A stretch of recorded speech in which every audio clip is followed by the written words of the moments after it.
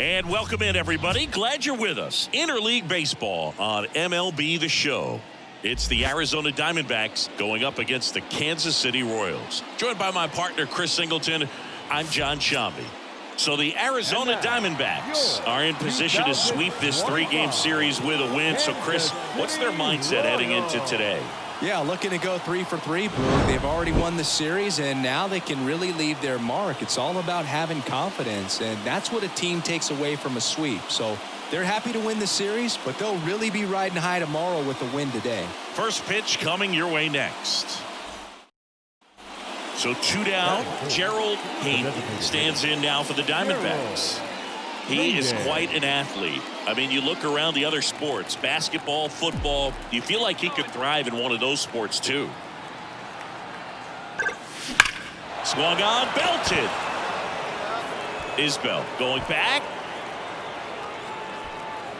Feeling for the wall as he makes the catch. Oh, now. Now batting, the designated hitter, Gerald Hayden.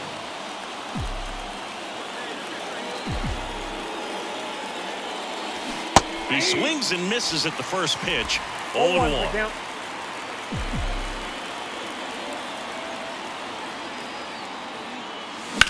That one ripped. Way back there.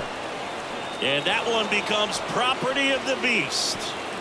He circles the bases. Home run number 65 on the year. And they add to their lead. It's 4 nothing. So the streak stays alive. His fourth straight game with a home run.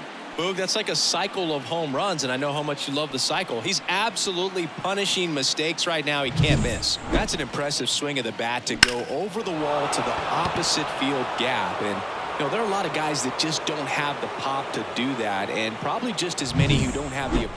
Now batting, the designated hitter, Gerald Hayden.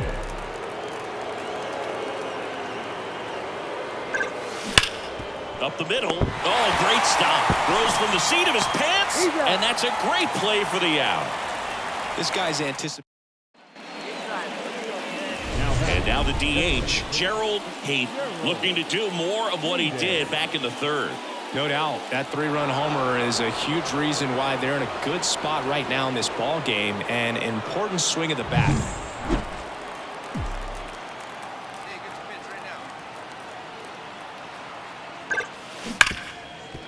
Smash to the left side. And that is that. Oh, you can see this team is feeling it right now. Look at the smiles. Look at the high fives. They feel real good about this three-game series sweep, and they get it done on the road. You talk about the confidence that that can produce. Tell you what, they're riding high right now. It's a nice win in this game.